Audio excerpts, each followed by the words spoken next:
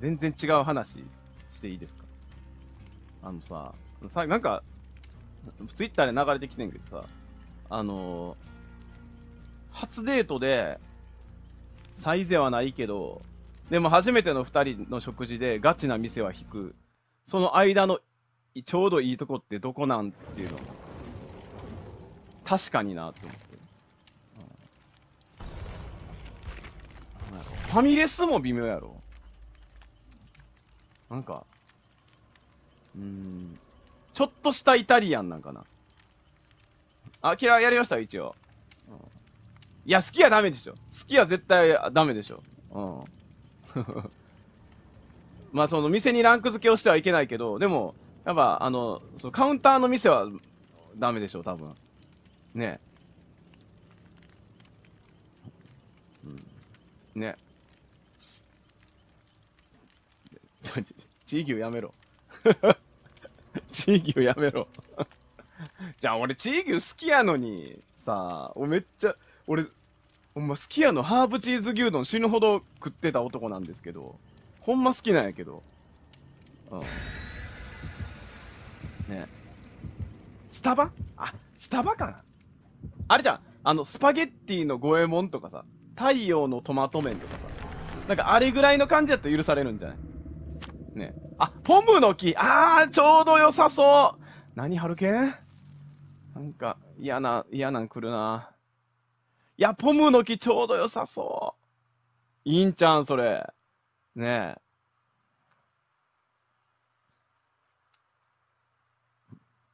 ちゃんことかどう？ちゃんことか。あの、俺さ、両国に住んでたんですよ、東京に住んでた時。んでね、両国が常識かと思ったら結構両国が割と常識外れなとこがあって。ね。あのさ、ちゃんこはめちゃくちゃあんねんけどさ、やっぱね、あの、両国のちゃんこはうまいよ。ただちょっと高いけどね。僕、東京に住んでた時期があります。東京の両国っていう駅に。あ、プロントちょうどいいね。うん、ちょうどいい。あ、両国ね、あのー、ほんま、お相撲さんが普通に歩いてて、あのね、ふわっていい匂いがすんねん、お相撲さんの横切ると。なんか結構わかる。あの、曲げを言う油なんかな。曲げを言う油がいい匂いするらしくて、なんかね、ベビーパウダーみたいな、ふわっていい匂いがすんねん。両国あるあるね。ちょっと待って、なんかスキルチェック下手くそになってんな、めちゃくちゃ。ふわっていい匂いすんねん。なんか。なんで、あれがね、椿油って言うんや。へえ。それがね、結構いい匂い、いい匂いなのよ。なんでね、結構、それがね、俺はちょっと両国っぽくて好きです。うん、あとはね、あの、前話したかもしれんけど、あのー、両国の駅に、大和屋っていう家系ラーメンがあるんかな今もあったんですけど、あのー、家系ラーメン好きで、大和屋、家系ラーメンの中でも大和屋かなりうまかったのよ。で、あのー、ご飯、ご飯が、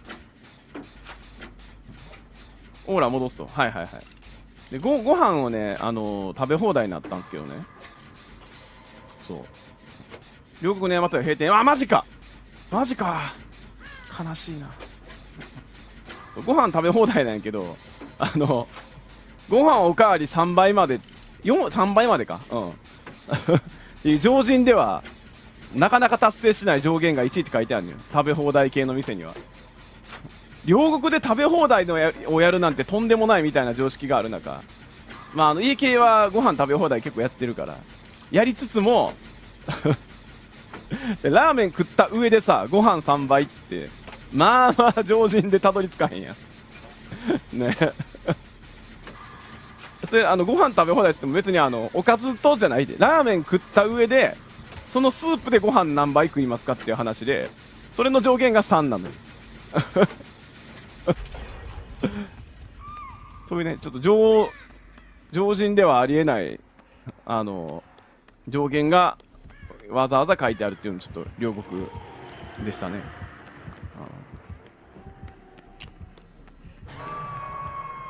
まあお相撲さんは食うんやろな。ちゃんと書いとかんと、うん、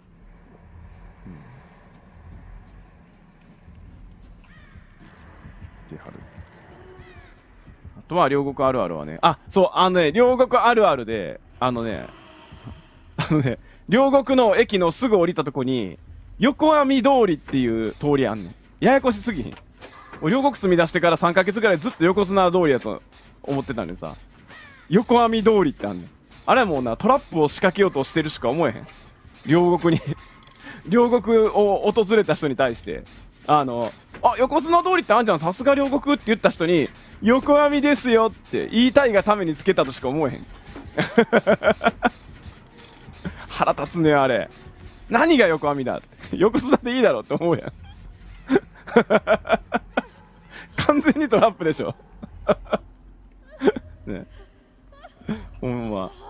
はい横網でした。って。言いたいだけでしょ。絶対あれ。ね。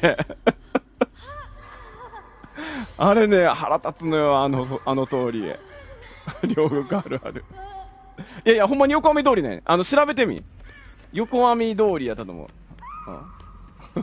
う、もともと隅田川では漁師が横に網を干していたことから横網になった。はあ。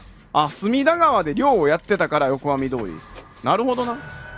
誰かの嫌がらせではなかったのね。うん。ありがとうございます。なるほどな。うん。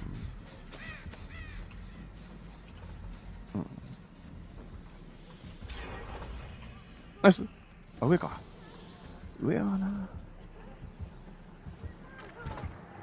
戻ってね。